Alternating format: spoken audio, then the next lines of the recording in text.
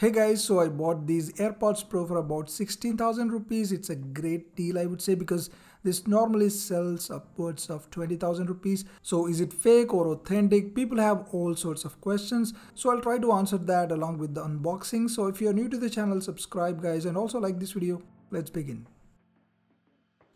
So the box was sealed and everything, no issues. And on the top, you do find the usual paper stuff. Below that you find the AirPods Pro itself wrapped nicely in a cover.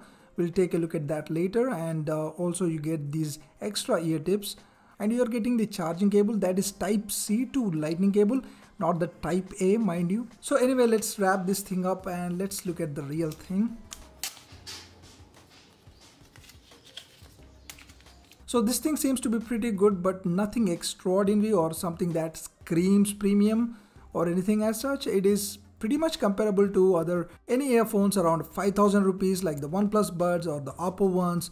But don't just go by the face value. I mean under the hood you have a lot of stuff that you normally don't find in your typical budget earphones. Like this one has a lot of sensors you can see which can track your head movement and the devices that it is connected to. As a result the spatial audio was possible. And of course you have the ecosystem benefits like it works really well with the iPhones iPads or the Macs. So yeah people who are into that ecosystem this thing is definitely worth that price i would say.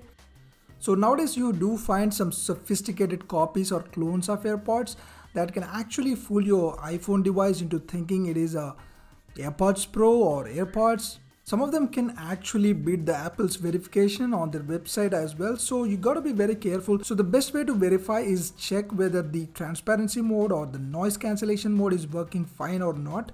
Even if you don't have iPhone or a Mac, you can simply press and hold the stem to actually uh, trigger the different modes.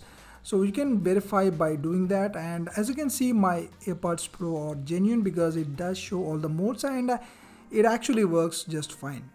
So how does it work with an Android phone? Because I do have an Android phone and how well does it work? What do you miss? All of this stuff I'll try to cover this in the next video along with other stuff like how it works with the iPad, Mac and all the important stuff you should know. This was a quick unboxing guys and if you found this video helpful please like this video also subscribe to the channel. Thank you for watching. I'll see you soon.